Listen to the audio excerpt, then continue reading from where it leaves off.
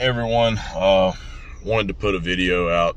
Um, just give you guys an update. Um, was gonna be working on getting some more content out. Start editing the the Jeff Melton video if I get the time. I'm probably gonna try to get the the debate with Jeff Melton up over on Rokfin pretty soon.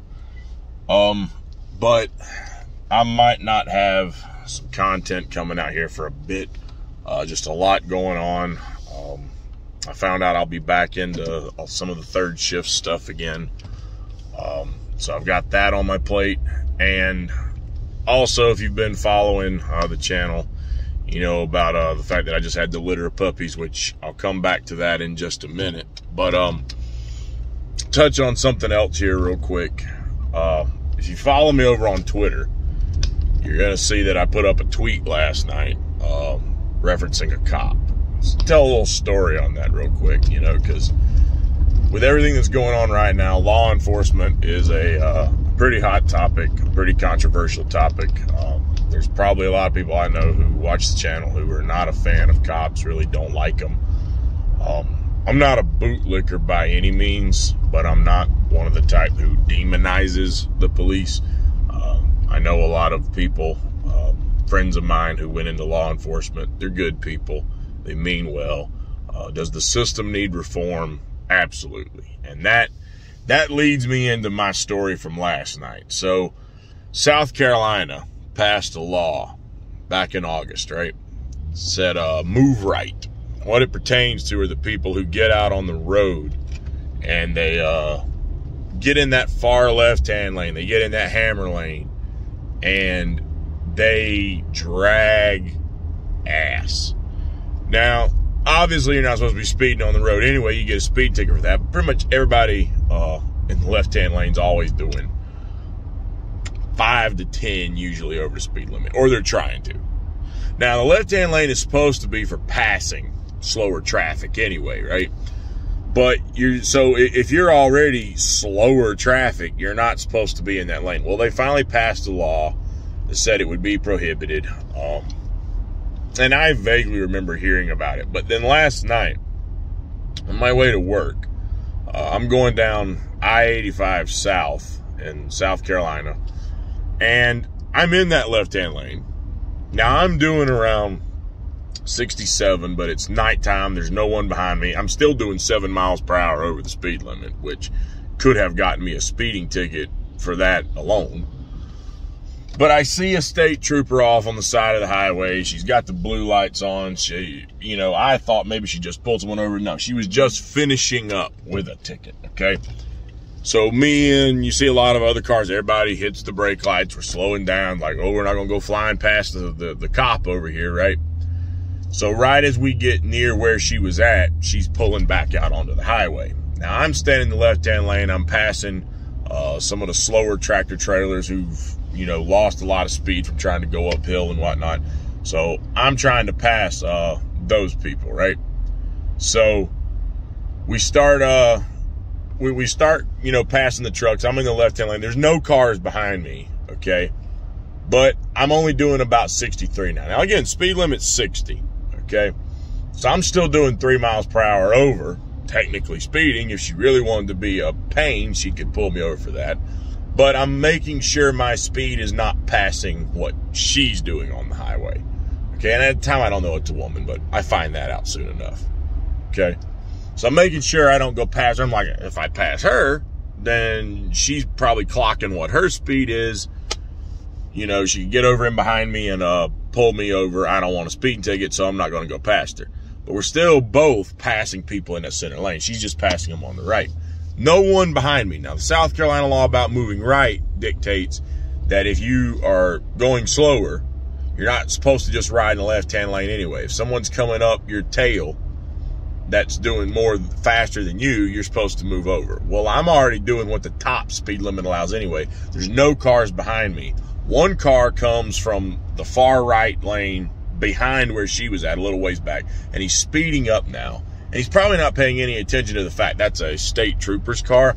So he is really doing some speeding. I'm already doing three miles per hour over. He flies up my uh, my bumper, okay, and I don't speed up because if I start speeding up, one of us probably going to get blue lighted by this woman, right? But we're coming up on another car in the middle and I'm like, okay, let me just get past this car. I'll get over. I'll let him out of my way. And if he gets blue lighted, so be it. He doesn't give me the chance. There was enough room for him to cut out, hammer down on the gas some more, speed up, and then cut around me and cut back in. Now I'm already doing three miles per hour over. So for him to do that in that short distance, he easily had to be accelerated up to five to 10 over. Easily a speeding ticket violation, right? Now the cop wasn't behind us. She's still over to my side, but a little bit in front of us, right? Okay. So as soon as he cuts out and goes around me, he's easily got to be doing five to 10 over the speed limit. If she was looking at her own speedometer, she would have saw me and her were kind of right at the same place, keeping up with each other because I'm not going to go flying past her. Okay, but we're still past cars. So she would know she was doing the speed limit. So for him to do what he did, he would have had to been speeding. Anybody with half sense could figure that out. Instead of going after him for speeding, one car goes behind me. This law is to prevent people from holding up traffic in the left-hand lane. That it is only supposed to be used for a passing lane. I am passing people in the center lane. There were no cars bottlenecked behind me. One car got behind me who was trying to speed. And instead of pulling him over for a speeding violation, she immediately hits the brakes, goes in behind me, and throws her blue lights on me. And I'm not even thinking about this left hand lane shit at this point because I, I haven't been holding up traffic. Okay. I'm thinking, I'm like, she seriously has been trying to clock what my speed is and I'm doing like 63. So she's going to hop in behind me and put the blue lights on for doing three miles an hour over. And he just did that. But you're pulling me over. That's what I'm thinking. I'm like, what the fuck kind of you know, ridiculous shit is this? So she pulls me over. Now I'm being held up on my way to work. And she comes over to my window and informs me that she is pulling me over because the new law in South Carolina dictates you are not allowed to ride in the left hand lane and hold up traffic. And that's what I was doing. That is bullshit. Complete and utter bullshit.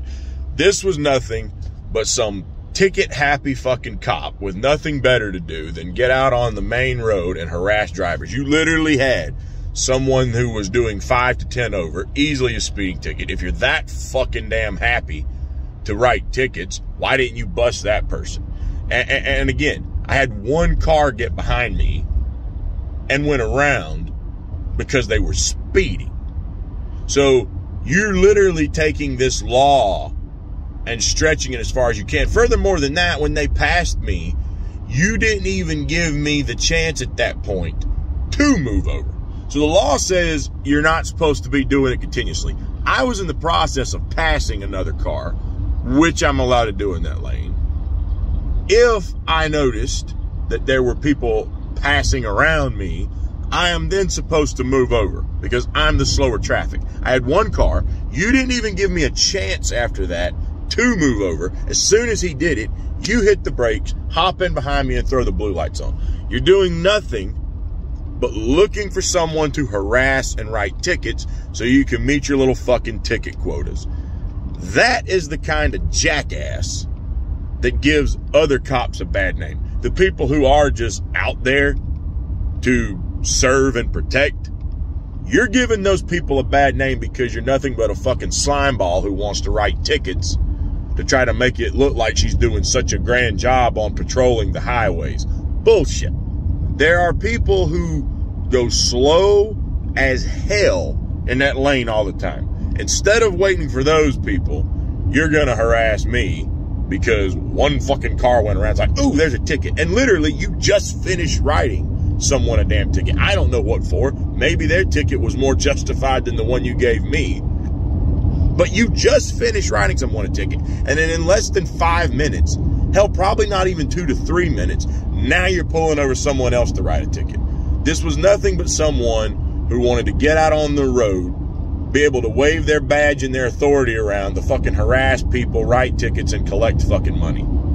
Okay? And then brought her little fucking ticket back over to my car, which it's zero points off my license. So it may or may not affect my car insurance now, which me and my wife have been working on to try and get down. Uh, our age doesn't help the price of insurance. So we've been working on trying to get that down, right? So because it's no points, they may or may not see it. If they see it, then it's liable to screw up her insurance because now there's another fucking ticket on our record. Now insurance premiums are going back up. So now you're putting more financial strain on me because you want to be a fucking jackass. While there's plenty of drivers out there who drive reckless as hell, break all kinds of rules on the road, you're going to stretch the law that far just to fuck with me. And that's pretty fucked up. And I'm not the only one. It's happening to a lot of people. And that's my point. She's the type of cop that gives the rest who are just out there trying to do a good job. She's the type that gives them a bad name and sparks a lot of this hate and outrage towards the cops. She's the type of person that should not be on the fucking force, period. Okay? She shouldn't be. She's got nothing better to do than that. She should go be a, a, a fucking little mall cop security guard and stick to that fucking shit. Matter of fact, no, you probably shouldn't have been doing that either because your little ass is going to let that shit go to your fucking head. Uh, and you'll end up with a fucking lawsuit for that.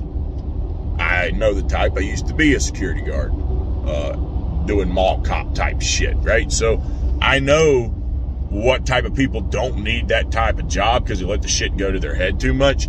She is the epitome of that. Okay. So literally, she's going to bring her little ticket back over the window, and it's no points off your license. It's a $25 fine. The court date is uh, this date in January at 10 a.m. Um, now, you can go online or go up to the courthouse and pay the ticket early, and then you won't have to appear in court that day and I just ever so politely responded to her, Don't worry, I'll be there. So, my plan is I'm going to challenge it. Uh, whether it'll do me any good or not, who knows? Worst thing that can happen is they tell me pay the fine. But in my opinion, that's someone just out there harassing drivers. Uh, furthermore than that, I'm going to challenge it under the uh, basic, you know, argument of provide the proof that that's what I was doing. Because you got a dash cam in the dash of that car. If you had got behind me, you could have tailed me for any length of time. There could have been footage of what I'm doing, right? But you're not going to have that footage because number one, you didn't give me a chance to correct it when someone did fly up my butt and went around me. You didn't give me a chance to move before you jumped in behind me and blue lighted me. Number two, um, there was nobody else. I was not holding up traffic. One person who was breaking the law themselves by speeding uh, came up, and again, you didn't give me a chance to move over. So if I'm going to be afforded being innocent till proven guilty, then I would then challenge whoever is there from the highway patrol to provide the proof that that's what I was doing and not simply passing other cars because that's what I was doing. Now, the likelihood that I'm actually going to be afforded my constitutional right of being innocent till they can prove my guilt. Slim to none, which is screwed up because that shows a problem with our judicial system.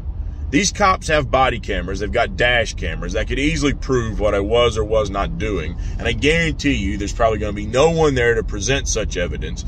Even if they show up to try and present evidence, that ain't going to be on a dash cam because I wasn't fucking doing it.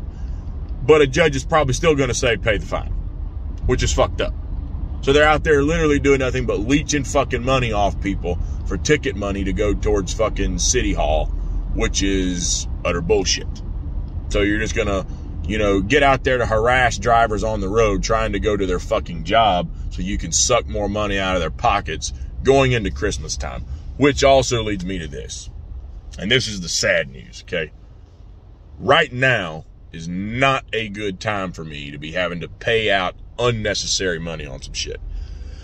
So if you've been following the channel, you know that I just made an investment buying a building and bought some supplies to set up a new studio because me and the wife are looking at having kids sometime within the next year. So you know that uh, I've been talking about that. I've kind of shown the inside of the building. I'm getting stuff done. I'm getting it set up. And in the midst of all this, while I've made this purchase, uh, we just had these seven puppies and they seem to be perfectly healthy up to this point. But on Monday, our uh, our one male uh, fell ill. I found him uh, in the house having seizures. Okay, and he was having a lot of seizures. Okay, um, they say if they've had more than one within a 24 hour period, that is enough to require a trip to the vet. This poor little guy, he's only five weeks old, and he had probably 10 before my wife got back home and we were able to take him to the vet. I mean, and it was, it was terrible. Now we took the rest because we thought they might have gotten into, uh, some, uh, some Fabuloso, that purple cleaner you use for mopping the floor. And if they got into it, they wouldn't have got into it uncut.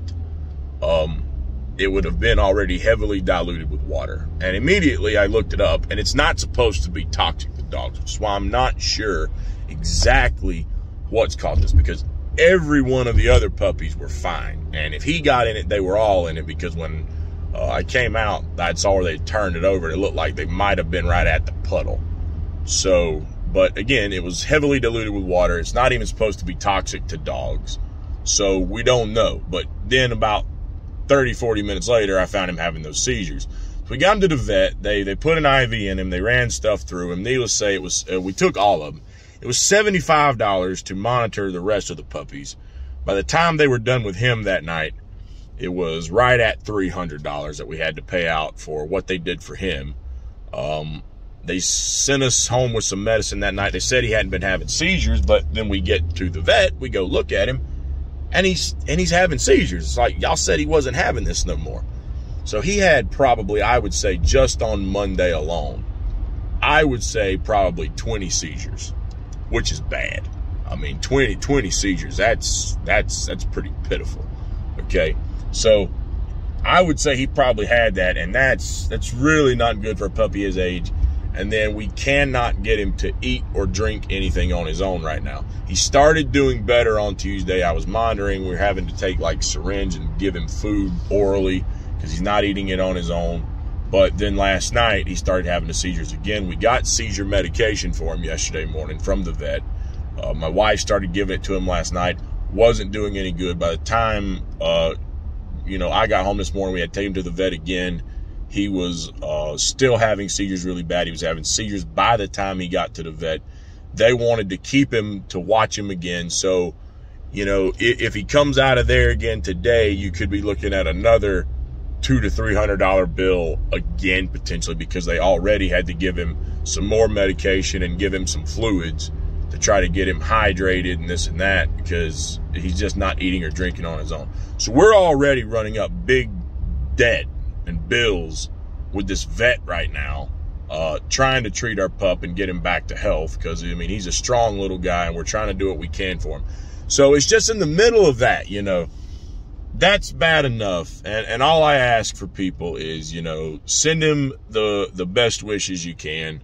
Uh, if you follow this channel, uh, I'm asking that favor. Send him the best wishes. If you're religious, uh, pray for him. If you're not, just send him all the, the positive energy that you can. Um, you know, the little guy is going to need it right now because he's, he's got it pretty rough at the moment. But you, you know, you think about that and then you think of in terms of, You've got that going on in your personal life. You're approaching the holiday season. You know, people trying to get their Christmas shopping in, and then some fucking prick like that lady is going to get out there just to harass drivers so she can write her fucking little traffic tickets over some bullshit. And there hasn't been one person I've talked to yet and told that story that agreed. Oh yeah, she probably did the right thing. You deserve that ticket. Everybody knows she's just out there being a pain in people's ass writing tickets. And it's funny as fuck because when she gave me that damn ticket, you know, she's like, you can pay it early and then you want to go to court. And I was like, oh, don't worry, I'll be there. And she's like, oh, excuse me? Like she wasn't expecting me to say what I said. And I'm like, I said, don't worry, I'll be there. Now I'm sorry. I ain't gonna take that shit laying down. Again, what's the worst fucking thing they can do to me? Uh, you know, tell me to pay a $25 ticket and then I've just got to deal with it. Well, it is what it is. It is what it is. But uh, it was a bullshit ticket. Uh, you know, w- w- wish me luck on that too. Uh, I've got till January, but you best believe I'm going to do my due diligence when it comes to this. Okay.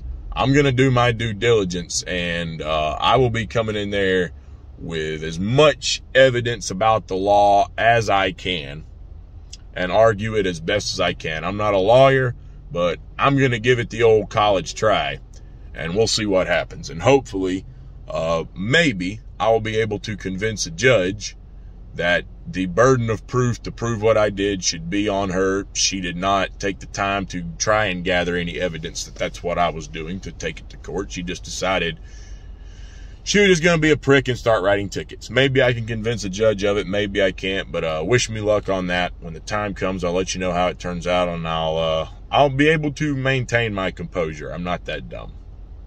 Uh, you know, I'm not going to get myself in any trouble. So it'll either be I'll have to pay the ticket or maybe I'll get out of it. But uh, in the meantime, uh, definitely uh, send the prayers and the positive energy this way uh, for our little pup. Uh, you know, he, he's a, he's a strong, strong little guy trying to uh, to fight through this. And you know, the only thing that worries me, he keeps having these seizures that could cause some kind of permanent damage to him. So that's why he needs all the all the positive energy and prayers he can get right now that he pulls through this okay. Um, so if y'all do that, I would I would really appreciate that right now. Um, so if, you, if you got any comments, drop them in the comment box down below, and we'll see you next time right here. Take care, everyone.